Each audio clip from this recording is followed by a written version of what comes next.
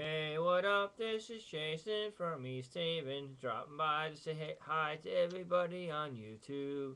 I'm on my webcam on Friday, April 16th, 2010.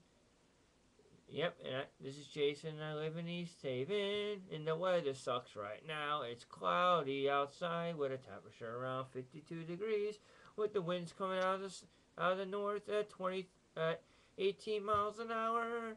This is Jason from East Haven. Yep.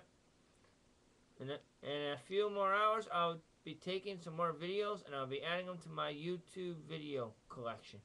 Ha ha ha!